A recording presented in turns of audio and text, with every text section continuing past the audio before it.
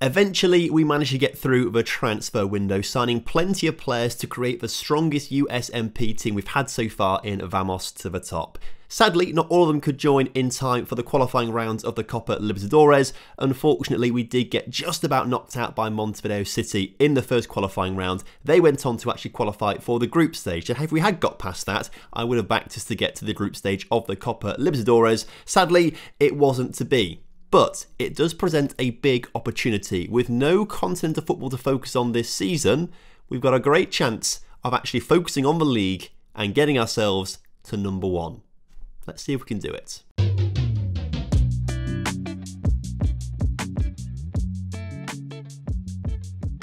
Hello and welcome back to Vamos to the Top. Hope you're all doing well and looking forward to today's episode as we take on new boys to the league, Bolognesi, which I think is probably how you don't say it, but it looks like that to me, so I'm going to say it. And then following that, we have Cantolao, a team that seemed to steal a few players from us over pre-season, and we've actually sent one of our players there on loan at the very end of the transfer window. So good to have you back, glad you're here. Make sure you drop a like on the video for me and subscribe if you are new to the channel. Leave a comment down below telling me how you think we're going to get on this season. First of all, let's just refresh our minds of the players that we ended up signing in the transfer window. And actually, it's quite a lot. Um, actually, it might be easier to look at players who left first. Uh, all these players we knew were going to leave because they weren't really that great for us. In the end, James Fotheringuies, which I've butchered massively. He's gone out on loan to Cantolao this season to be an important player and hope to develop quite nicely on the right hand side of the pitch. But to refresh your mind, we brought in a striker in Brennan Naranjo who scored 26 goals in Australia last season. We brought in a backup left back in Kevin Moreno, Peruvian, looks pretty decent.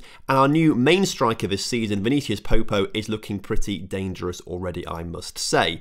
We then brought in, finally, Carlos Caballero, the right back who we signed a couple of seasons ago and eventually he's got back to the team um, after being on loan at other clubs and contract negotiations and disputes. Eventually he's here. He's our first choice right back and he's probably the best right back that we've had in this entire series. New goalkeeper Juan Diego Castillo is looking very good so far. I'm impressed with what we've done with bringing him in. And then we've also brought in a Brazilian in Lucao Cavalcanti, which is an interesting surname. He's only coming up as Lucao, so actually I might nickname him Cavalcanti for the memories of the uh, Aberdeen save. But he's a good left-footed centre-back for us, which is great. We also brought in on loan another centre-back who I don't think we're going to see for the entirety of the season on the grounds that is not that good. It was just kind of an emergency loan in case we couldn't bring anyone else in. But then we did bring other people in. Starting off with two centre mids. Uh, Wesley Soares, a Brazilian centre mid, in on a free transfer before splashing £70,000 on Claudio Torrenjon, which I think I've said wrong as well, but we'll work out how to say it properly at some point this season. He comes in to be arguably our best centre midfielder at the club, so excited to see what he does this season. And then we've also brought in two youngsters to improve the team. Juan Alvarado is a centre mid who's got a very decent first touch and decent passing tackling technique. Like, I'm excited to see what this guy can develop into as we progress through the seasons. And then we've also brought in Artiga, who is a left-footed centre back as well. Uh, these two are for big money as well in the future, so uh, hopefully they work out nicely. So overall, I do think it was a very good transfer window, and things are looking pretty good for us so far because in the three league games that we've played in between episodes, we've won two and drawn one starting off with a big 3-1 win against Binacional. Vinicius Popo got his first goal in the league for us, which is absolutely fantastic as he scores this one here in a game where really, actually to be fair, Binacional should have got something out of it, look at the match stats. In a game which we dominated against Cusco, in the 89th minute, we went 3-2 up in this game, which was absolutely fantastic. We thought we snatched the win at the end. But in the 95th minute, Cusco's Bertie scored his hat-trick, which was so frustrating. It's also a really good goal. But against Ayacucho, we got back to winning ways and got an important clean sheet as well as Naranjo scored his second goal for the club in the league, I think third overall. So temporarily that puts us second in our group, which is fantastic. Very excited about that. If we win it, we get to play the winner of Group A in a playoff final, and the winner of that gets to go in the Champions playoff at the end of the season. So a big incentive for us to do well in the first stage of the season. First game today is against a newly promoted side, so hopefully we are going to be absolutely thrashing them here today. Uh, Castillo, the new keeper, is starting in goal with Ruan, Lucao, Sanchez and Caballero in the back line. Torrejon and Tuesta start in the centre of midfield with Chelly and Carpio on the wings, Naranjo and Vinicius Popo lead the line. So as kickoff is upon us today, hopefully we're going to get another three points on the board here today. That would be absolutely fantastic as uh, Carpio gets the ball out wide, probably the weakest player in terms of average ratings in our attack so far. I do want to play him more because I do believe he's got more potential than Sandoval and we paid a lot of money for him as well. But Sandoval keeps performing, and so maybe he's the man that just needs to keep playing on that right hand side. Although Carpio is now through and scores a goal to prove me wrong. First of the season for him and the opener in this game. Maybe it's just going to take him a few games to get going this season as uh, Vinicius Popo shot, oh, hits the keeper off the crossbar, cleared out from the back. That was a great chance for us there as Caballero clears that one up at right back and uh, the highlight does finish. But it does start once again with an attacking set pieces. Carpio puts the ball to the far post. Chelly's there, heads it over the bar, but some really nice attacking play so far today. Ah, also we have tweaked this formation just a little bit. Uh, a lot of you guys in the comment section have been telling me not to counter press, so I've taken that off. We are no longer counter pressing, but I have instructed our players to run up a defence a little bit more, I think, I might have done that, I might not have done that. We've got some good dribblers in the team. I have definitely added on work the ball into the box though. That's something we didn't have on before. So a few little tactical tweaks that maybe just going to help us score a few more goals this season and maybe actually just help us keep our shape a little better in defence to stop conceding goals. Um, I've not put regroup on but that's something that we maybe could look to do, look to regroup when we do lose possession uh, rather than counter press. I've left it as like nothing right now, just sort of see how it goes for a few games or so. And right now, it seems to be working as finally a ball put across to Chelly, who finally gets one in the back of the net. It's finally worked. Also, might be a good idea to actually get the league table up for a change, wouldn't it? You can see here that uh, with the results going in our way right now, we're still second. Cusco are also winning. Cusco just seems to be so, so good in this. In real life, the relegation battle was between Cusco and USMP, and Cusco got relegated. In game, it appears to be that USMP and Cusco fight for the top as Naranjo, the big target man, gets another goal this season. You love to see it. 3 0 inside of 38 minutes. Fantastic work here. Absolute demolition job from from us, although they are a newly promoted team, of course, so, you know, to be expected maybe. We are level on goal difference with Cusco now, so if we score a few more in this game, that would be really good for us to potentially go ahead of them in the table. But I'm liking what I'm seeing. We've not seen any highlights in the favour of Bolognesi so far, have we? Which suggests that our defence is working better than it used to, potentially, which is quite nice. Uh, with 20 minutes or so to go, though, we will make a couple of changes out there. Uh, Tuesta looking quite tired, so let's bring Gabriel Delgado on in that CM attack role. Also seeing a few poor performances at the back. Ruan not playing brilliantly. Let's give Kevin Moreno a go and see what he can do. Uh, also seeing Carlos Caballero looking quite tired. Let's bring Rocha on at fullback to see how he can do. That's the one area where we are a bit weak this season. Um, we really could do with a better backup right back. Sebastian Rocha's good, but I mean, if we get a big injury to Caballero, that's a really weak area for us. That's the one area that I think we've overlooked a little bit, a backup right back. That's something that we need to do. Also, looking a little tired up front is no, uh, maybe Chelly. Let's bring Morelos on. So four subs there at the same time. That's quite a lot to be fair, but hopefully it's going to give us the energy we need to finish off this game as Naranjo waiting in the box was swamped by four players, couldn't get there. Carpio then gets the ball back into Vinicius Popo, who scores his sixth of the season in all competitions so far. He's been an inspired signing, and with that goal, we should be going top of the table.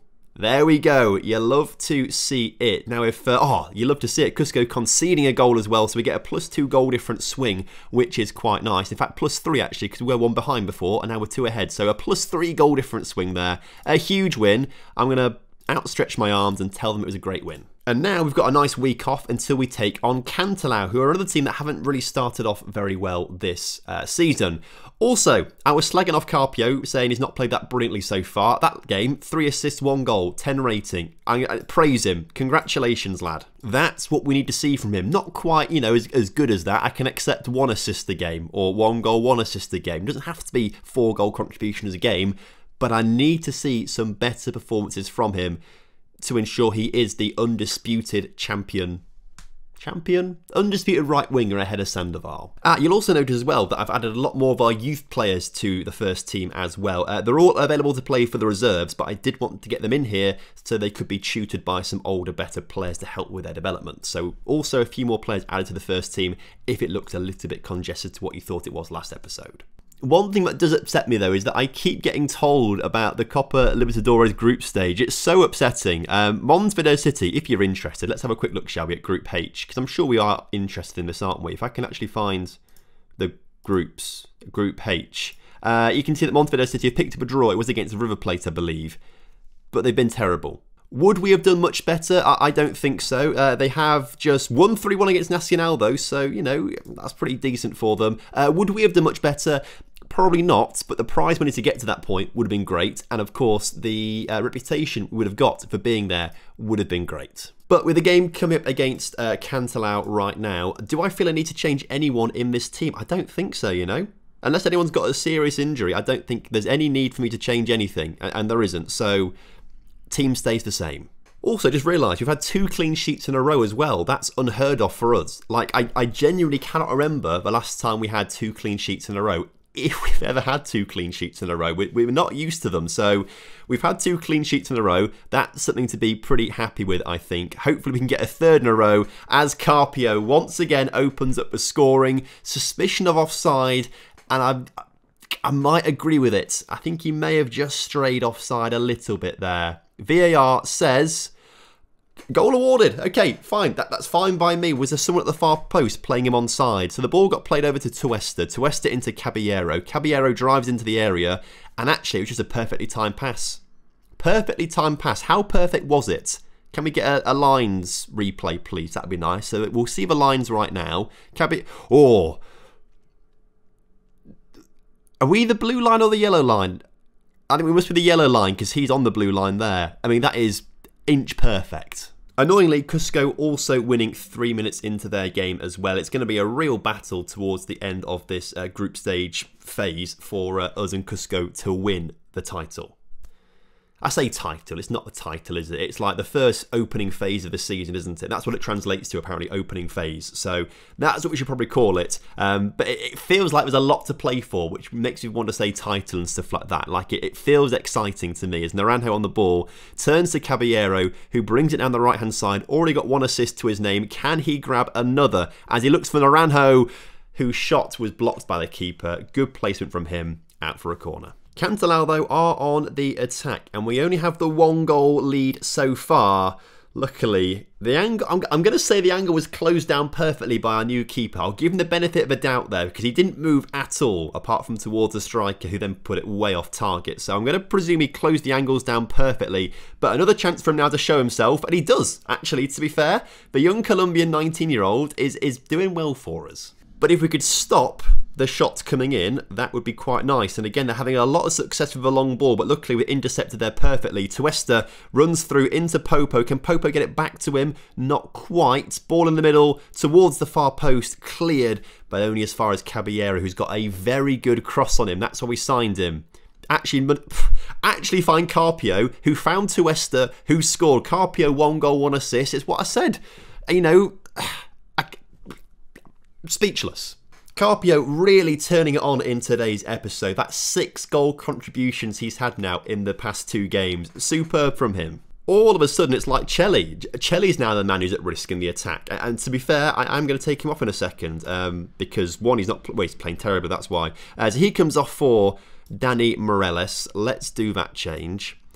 Is there anyone else that I want to see play? Yes, I want to see Juan Beltran on the pitch instead of Vinicius Popo. I want to see what the young, is he 16 or 17? 18. What the young 18 year old can do out there. He's got great finishing, great composure. I think the physicals maybe lack a little bit for him, but on paper, like he will be a very good striker for us. I really believe he'll be great, and he's just got his first goal but I think he was quite a bit offside there. A great finish, nonetheless. You love to see it, Juan Beltran, but I, I think he was about a yard or two offside, and the goal has been disallowed. You'll see it on the replay.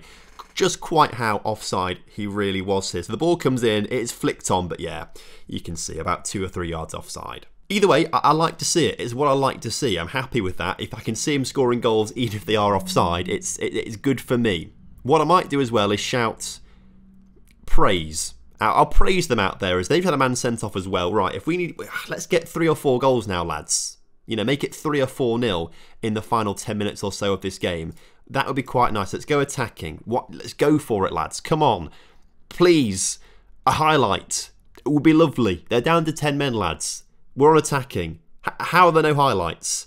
Right, we'll take the win, but we'll also take a Cusco draw. I think they just conceded in the 85th, 89th minute, something like that. Cusco, Cusco, Cusco, 84th minute.